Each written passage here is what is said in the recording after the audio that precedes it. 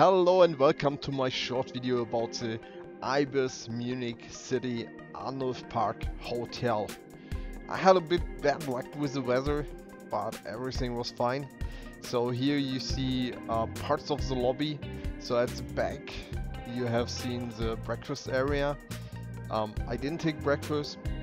It would have been 12 euro for this Ibis hotel. And then they had also a small bar. I also didn't go there. I had no time for it. And what you see right now is the room I stayed in. It was very comfortable. I just missed a desk since I was working at my laptop.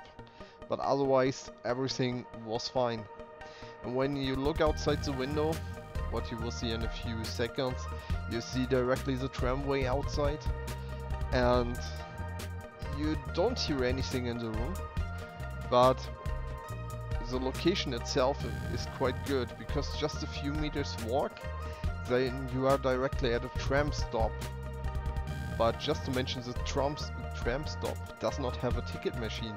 So once you come from a city center here, just bring a ticket. Otherwise, you have to walk one station more in order to get a ticket.